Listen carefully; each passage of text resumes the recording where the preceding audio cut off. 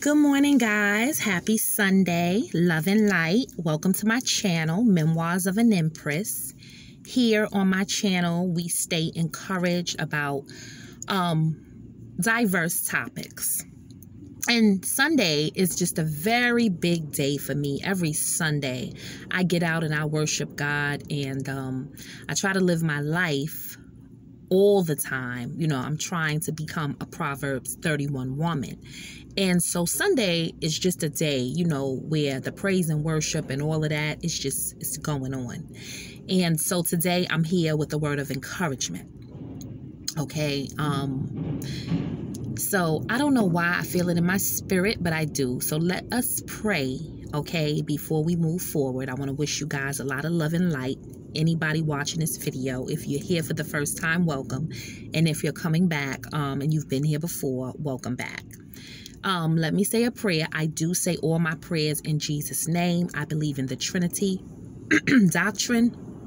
And so I believe that God, the Son, and the Holy Spirit are all in agreement. They are all in one. So let's say a prayer in Jesus' name. If you touch and agree with me, let's pray this Sunday morning before I get into my topic that is sure to encourage you.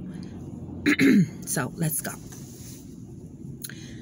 Dearest Heavenly Father, Almighty, the great I am, the universal sovereign, Jehovah God, Jehovah Jireh, we love you. We praise you. We thank you. And Satan cannot have our worship because we worship you alone, you alone exclusively. Today, I come to you humbly I come to you to tell you that I love you, that I honor you, that I thank you, that I praise you, that I give you all the worship and all you are deserving of all the glory and all the honor. Because it was you alone that created us, and because of you, everything and all things exist.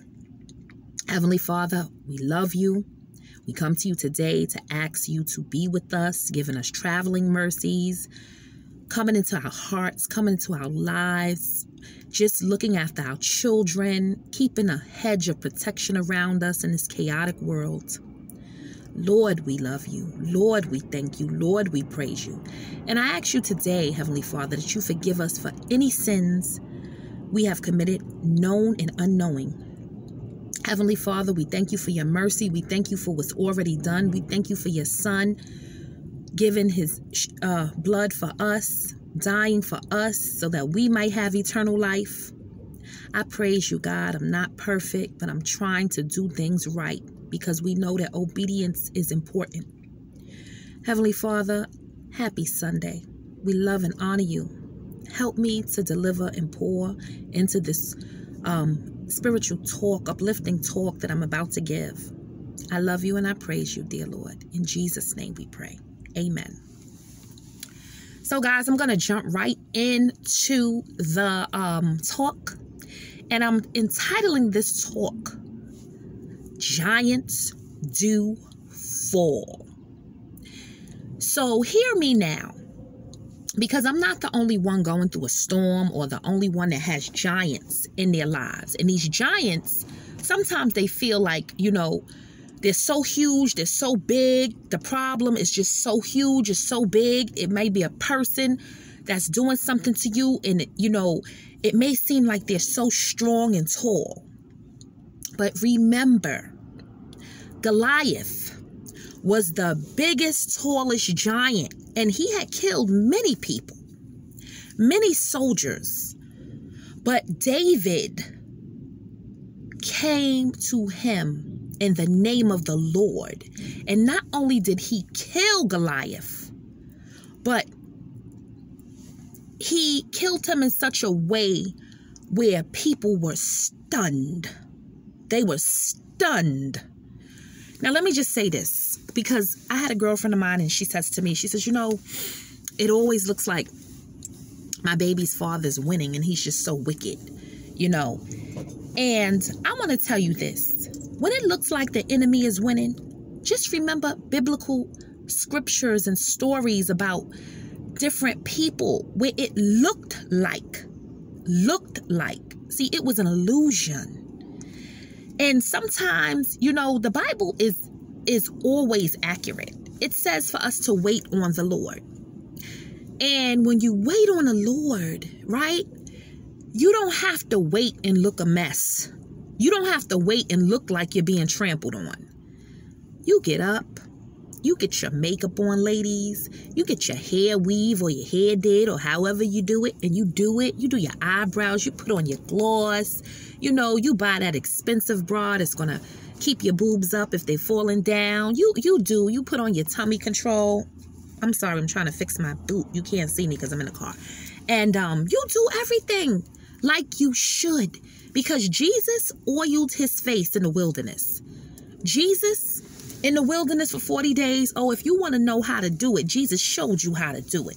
He wasn't in the wilderness crying out, you know, oh my goodness, I look, you know, looking a mess. He did what he had to do. And he was the in flesh, okay? Giants fall. Giants do fall. And see, you have to remember Satan is powerful. He is powerful and he has riches in this world. And when people serve him, he gives them those riches. Yes, Satan has, he's rich, but he's not God. And he does not have eternal riches riches that won't. God says, store your treasures in heaven so that, you know, your treasures won't be able to uh, become, be ruined, get destroyed, or where thieves break in. Um, and God is a, you know, God is a owns the earth, the universe. He has the authority over everything. So you don't have to look at your opponent as, oh, they're winning. You know, um, or you might see them get something, or they might, you know, look like they're winning. No, it's all an illusion. You know why? Because the word of God is not, will never come back void. And the word of God is beneficial for teaching, for reproving, and for setting things straight. And one thing I do know is that the word of God says that a man, what a man soweth, a man will reap. And also that, you know, sometimes it looks like the opponent, your enemy, is winning because God needs to know that you're on his side.